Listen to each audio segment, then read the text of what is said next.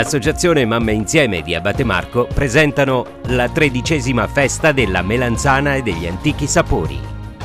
L'1, il 2 e il 3 agosto ad Abate Marco in provincia di Salerno. Tre serate all'insegna della cucina tipica abatemarchese accompagnata da spettacoli e musica dal vivo.